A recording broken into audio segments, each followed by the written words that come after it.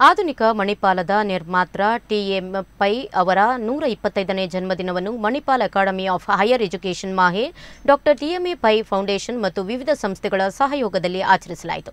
ಈ ಸಂದರ್ಭದಲ್ಲಿ ಮಾಹೆ ಅಧ್ಯಕ್ಷರಾದ ಡಾಕ್ಟರ್ ರಂಜನ್ ಆರ್ ಪೈ ಮತ್ತು MAHE trustee Vasanthi R Pai ಮತ್ತಿತರರು ಮಾಹೆ ಸಂಸ್ಥೆಯಲ್ಲಿರುವ ಡಾಕ್ಟರ್ ಟಿಎಂಎ ಪೈ ಪುತ್ಥಳಿಗೆ ಪುಷ್ಪಾರ್ಚನೆ ಮೂಲಕ ಗೌರವವನ್ನು ಸಲ್ಲಿಸಿದರು.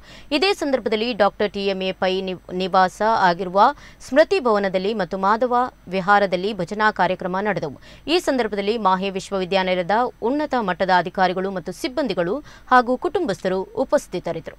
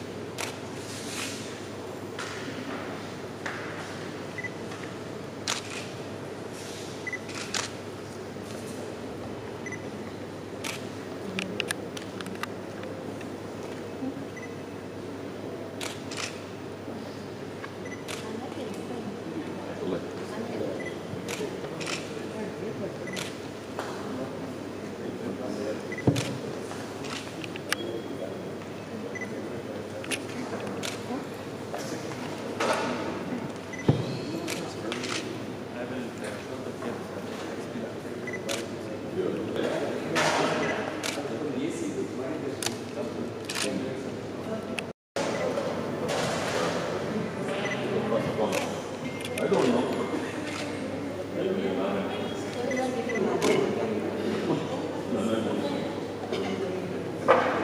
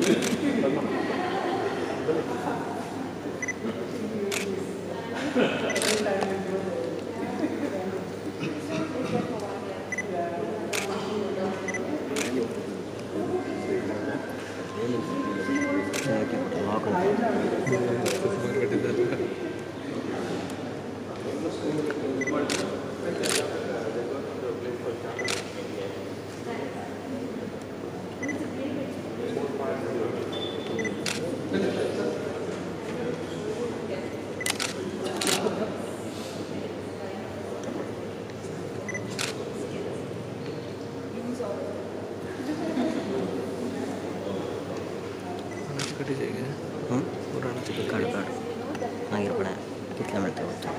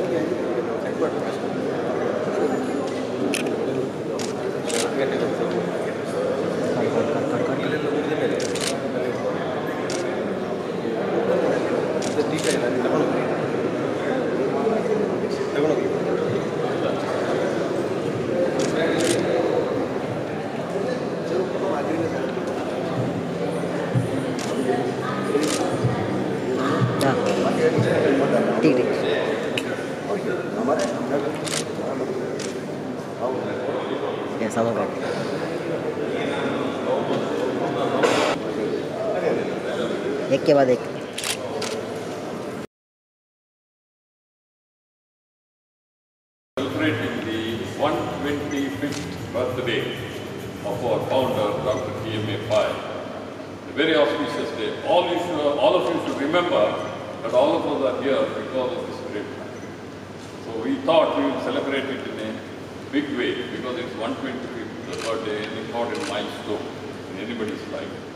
Now I request uh, my Vice Chancellor, Lieutenant General M.D. Venkatesh, to greet all of you on his 125th birthday. Over to you, Venkatesh.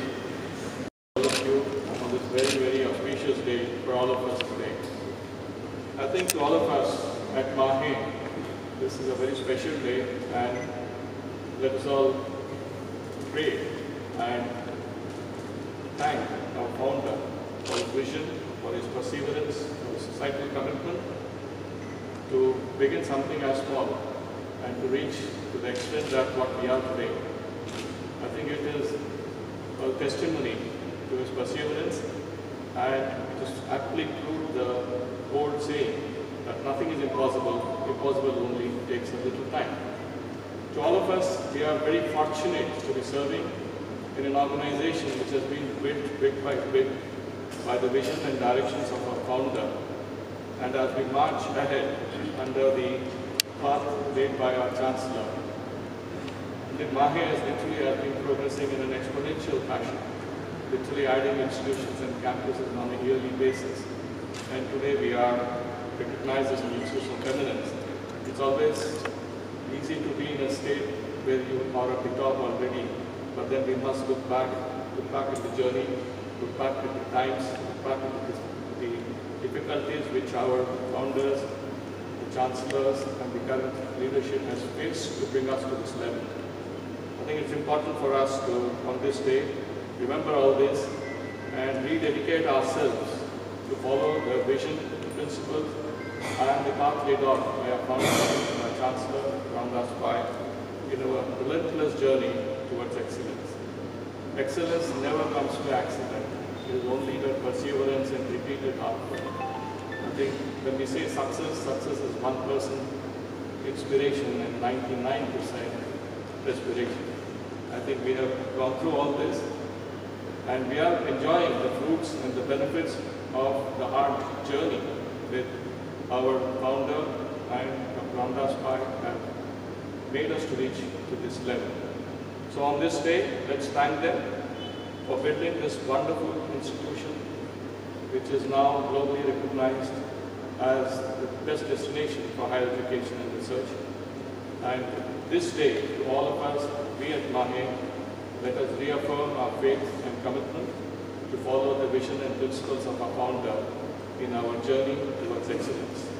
Thank you very much. Let us today remember the great soul, and I'm sure you would be smiling at us with a, with a sense of happiness that what he began has reached to this state. But the journey has not ended. To me, it has just begun. And I assure all of you of our commitment to take this journey to its logical conclusion. Thank you very much.